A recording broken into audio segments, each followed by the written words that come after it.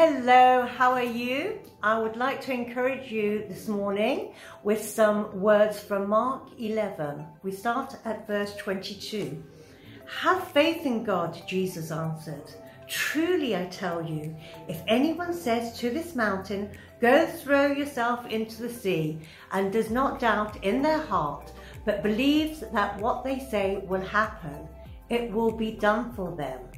Therefore, I tell you, whatever you ask for in prayer, believe that you have received it and it will be yours. So, we all would like our prayers to be answered straight away, but you know, it's not always like that. Sometimes it can take months, sometimes it can take years. And you know, I would say that's probably because God is wanting to work something through us. For example, he might want us to stretch those tent pegs. He might want us to come out of our comfort zone. He might want us to have more faith in him, that we really, really have faith that he, he will answer the prayer that we've requested. And it may be because he wants to maybe change something that we're actually currently doing in our lives. So I was encouraged recently when I heard from two different people that their prayers, which I know were asked and petitioned over a year, two years ago, and both have come to reality now. There was many different blocks in place, but they, with God's on your side, he can actually get rid of everything.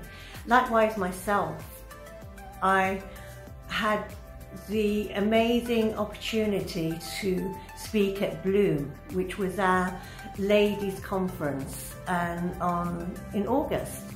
And before Dawn asked me, she wasn't aware that I had a really, really bad fear of microphones and speaking in public.